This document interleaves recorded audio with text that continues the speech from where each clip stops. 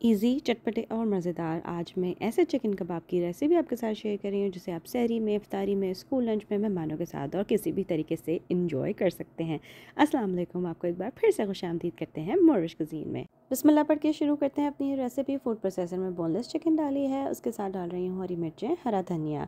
मैंने boneless Thai use की है, फिर सीज़न कर रही हूँ नमक भुनाकोटा ज़ीरा, लाल मिर्च, गरम मसाला पाउडर और काली मिर्च का पाउडर और उसके साथ क्यूब में कटी हुई प्याज डाल के अब इसको इतनी देर के लिए मिक्स करेंगे कि एक अच्छा सा पेस्ट तैयार हो जाए। फिर थोड़ी देर के लिए इसको फ्रिज में रख दीजिए। अब एक प्याले में ला रहा है पानी और उसकी मदद से स्मूथ सी इस तरह की टिकियाँ पैटी तैयार कर ली है। छोटे या बड़े ये आपके ऊपर डिपेंड करता है। मैंने छोटे साइज़ की बनाई है। फिर तवे के ऊपर हल्का सा ग्रीस किया है और इसको एक साइड से सीखने के बाद पलट लीजिए और इतनी देर के लिए पकाइए कि चिकन गल जाए। और इस तरह ये मज़ेदार से चिकन पैटी तैयार है। इसको आप चटनी रायते के साथ पराठों के साथ या बन में रख के स्लाइडर्स की तरह भी सर्व कर सकते हैं। अगर ये रेसिपी अपने पास ट्राई करें तो मुझे ज़रूर बताइए कि ये आपके पास कैसी बनी। मेरी रेसिपीज़ को पसंद करने का, उनको सराहने का बहुत शुक्रिया। अल्लाह हाफिज़।